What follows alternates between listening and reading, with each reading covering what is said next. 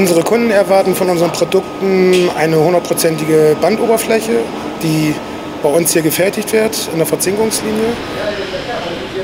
Sollen wir dennoch Probleme haben oder Fehler haben, werden diese zur Inspektionslinie gefahren und genau die Fehlerstrecken rausgeschnitten, die betroffen sind, und um das gute Materialstück zum Kunden zu liefern.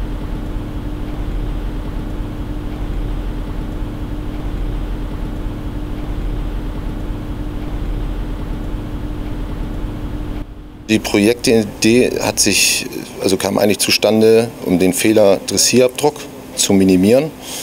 Also die Fehlerstrecke war halt sehr lang im Vorfeld immer. Und das haben wir halt analysiert und dann sind wir halt darauf gekommen, wie können wir das jetzt hinkriegen, um diese Fehlerstrecke zu reduzieren. Der Kunde ähm, möchte eine gewisse Rauheit auf die Bandoberfläche haben und die übertragen wir mit der Arbeitswalze auf das Band. Das, der Kunde nutzt das für, für bessere Lackiereigenschaften.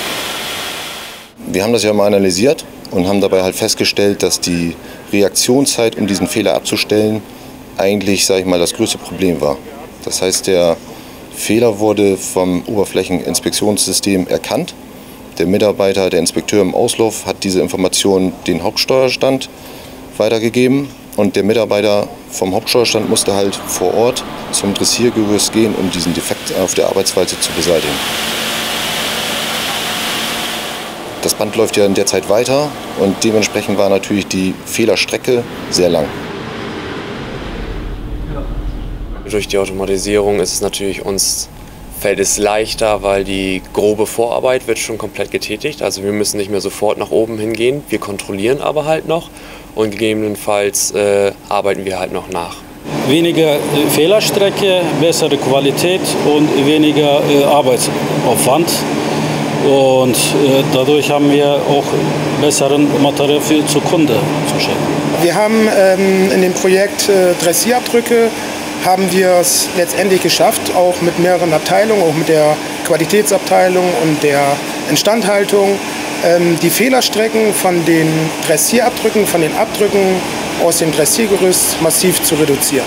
Und das in einer ja, Thematik, sage ich mal, die automatisch läuft. Früher wurde das durch das Produktionspersonal gemacht und jetzt ist es halt automatisch durch das Oberflächeninspektionssystem. Ich denke, die Teamarbeit zwischen den Verbesserungen, weil es mehrere Abteilungen auch betrifft, ist sehr wichtig.